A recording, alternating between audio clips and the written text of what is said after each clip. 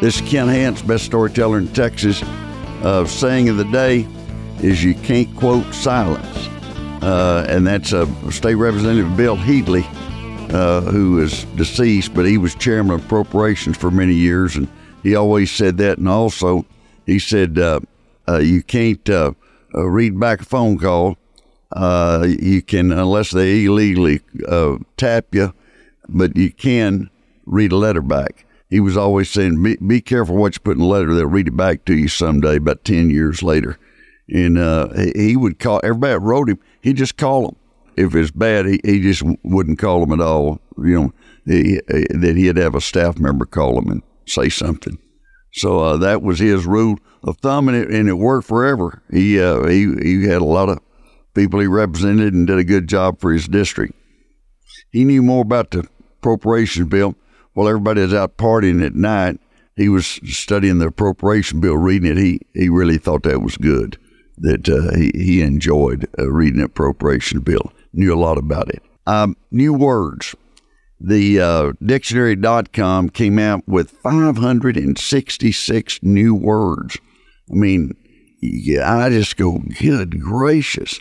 I wrote some of them down, and they had coffee nap, now that that just is a conflict in its saying. It's coffee nap that if you drink a cup of coffee and take about a 15, 20 minute nap, uh, you when you wake up you're really ready to go. My problem is if I drink a cup of coffee, I don't want to take a 15 minute nap. I'd never heard of that. Shower orange, and that, this one's kind of goofy. It was that that's for somebody that peels a shower, uh, peels an orange in the shower, and and uh, that that would be an odd person. Uh, I would I would think. Blur's Day. Blur's Day is when you're really busy and everything is in a blur. And it's kind of like Groundhog Day all over again. And Nepo Baby. A Nepo Baby is somebody that's famous and their parents were famous. Uh, usually somebody in the uh, uh, movies. One of the new sayings, uh, decision fatigue and that that happens to people and a lot of people in college that uh, they'll have things come up and that they'll have decision fatigue. They'll have to make so many decisions they they get tired of having to make a decision. So it cuts cuts down on their uh, their ability to quickly decide and decide the right way. In talking about new words, there is uh, the the master of new words throughout the centuries has been William Shakespeare and uh, he had 1,700 new words, over 1,700, or phrases. And, and I look at some of them, he's got too much of a good thing. How many times you hear that, you know, on a regular basis? And that was something from Shakespeare. Uh, it's Greek to me. Now, I like that one. It's Greek to me. You know, I, I don't know what it means, uh, that it is Greek to me. Neither rhyme nor reason. That's, that's a great phrase and it can be utilized a lot. And haven't slept a wink. We use that all the time. And unfortunately, that's true lots of times. Uh, my high school English teacher, S.T. Newman, he always he said, if 50 years from now you just remember one thing that Shakespeare said, I'll feel like that I've done something good. And so when I call my children, my law partners, or my grandchildren, I'll say, Where art thou, Brutus? And that way I can find out if they're in Lubbock or Fort Worth or, or wherever they might be. You know, one of them one time said, Why do you say that? And I, I gave them the explanation. They went, Okay. You know, I was about halfway through the explanation. They went, Okay, you know, let, let me go. Let me go. You don't need to tell me the whole story. That, goes back to Uncle Clarence's saying in Dimmitt for Hance used cars. If you sell them the car, give them the keys. And uh, he had a couple one time that he was selling a car to and he got to telling about how good the car was, and uh, and then he and this was in the 70s, 60s, 70s. He said it's got electric windows. You can roll those windows, just touch a button, and the windows go up. And the woman said, "Oh no, what we can't do that because one of the kids will choke one of the other kids to death." And so he he kept talking, and they didn't buy the car. They left. And said after that, every time somebody said, well, "I'll take the car," boy, he gave him the keys and got him to sign a contract and figured out how they were going to pay for it. And uh, he learned the hard way. One other saying that uh, I use from time to time. Somebody will ask me why about some subject, and I'll, I'll say, I don't know. Why did Hitler invade Poland? He just did. You know, I mean, uh, that's an answer. I don't know why that happened, but it just did. Not everything has to have an answer. Also, there is a new product by Gatorade, it's going to be called Gatorade Water. And, uh, you know, I mean, that's kind of unusual. Uh, Gatorade Water. It's supposed to be treated with certain minerals and certain vitamins. You know, it's like smart water. That uh, smart water helps stimulate you and makes you smarter. I've I've never really considered that, but uh, I think just getting water at the regular water hydrant uh, is is always sufficed for me. But Gatorade is going to put a lot of money into Gatorade water, so mark my word, it's going to be a success. They've tested it. By the end of the year, you'll be seeing Gatorade water for sale. Uh, when I was a kid growing up, and I think most of the listeners that listen, they're older. If somebody had said, "You'll buy water in a bottle," people, you know, they'll want to do a, um, they'll sell you water and you'll pay for water. And and I don't think anyone would have believed that. And uh, now we always uh, buying a bottle of water someplace somehow. We had the shortages. Remember the toilet paper, and we had all that problem shortages and everything. They've come up with a new one. I read an article on this, and it's on laxatives. People are they use laxatives more because of anxiety and stress. And I hate to even say this, but they, they say part of the people you know, people are always on the run. I don't know if that's a proper term that you should be using under those conditions, but uh, that that's that's a shortage. You know, if people not eating enough fiber, you should be able to get your fiber from fruits and, and vegetables. But uh, it referred to an article from Mayo Clinic about bowel movements. I'm thinking, how did I get to this subject? But uh, anyway, it said uh, three times a day or three times a week. Either one's okay. And but uh, there's a real real shortage coming up on laxative. So be beware if if you uh, use those or anything, you need to hog up, I guess, and uh, and see uh, see that you're well taken care of. Story from Great Britain. There had been a there was a mass murder called in. Somebody said there had been 15, 20 people murdered in where the bodies were. And they, um, police, you know, and ambulances and everybody, they ran to the scene and it was a yoga class. They were stretched out like a corpse, and somebody came by and looked in and saw that and saw there was one person moving around and they had a some kind of pencil or something. And they thought they had a gun. So they called in the police and everybody showed up at 15, 20 dead and hell, nobody was hurt. They were in a yoga class. In Ohio this week, at a Ace Hardware. Guy was looking around. He was on parole and he had an ankle bracelet, had a monitor, so they'd know where he was at all times. Found one of the employees, one of the clerks, and asked him where the hedge clippers were. And they showed him, and, and so he was looking at them, and they left. And what he did, he got the hedge clippers and cut his ankle monitor off. And they did not have a video of him cutting the monitor um, off, but they had a video of him placing the monitor on the shelf, and they they followed him with the video, and that he stopped, got some popcorn on the way out, and rode off, and now they're they're they got a warrant out for his arrest. What was he thinking? You know, I mean, they're going to get you sooner or later. Saw a story on you. You talking about somebody that's honest. A daughter bought a Powerball ticket for her dad, and and she hadn't given it to him. She still had it. She bought five for him and five for her, and one of his was a hundred thousand dollars, and she gave it to him. You know, most people would be tempted to say, "Oh, that was one of mine." Golly, you didn't you didn't have very good luck, but uh, she did the right thing. You know, it, can you do the right thing when no one's watching?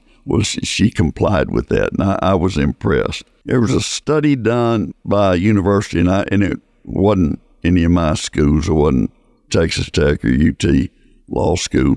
Study was done on why cats like tuna. They really love tuna. And the result, and they spent a lot of money, uh, spent over a million dollars, and uh, the the result was that uh, the cats uh, like the smell of tuna. You know, I don't. I'm I'm sure that's bound to be helpful some way. Uh, when I was in Congress, there was a, a study that had been done on the sex life of the tsetse fly, and and we caught hell over it, and uh, it was it wasn't very expensive, but what it did, it kept them. They they did a study on it to keep them from multiplying, keep them from breeding, and uh, the result of that was that it improved the timber industry in the southeast in Georgia and places like that.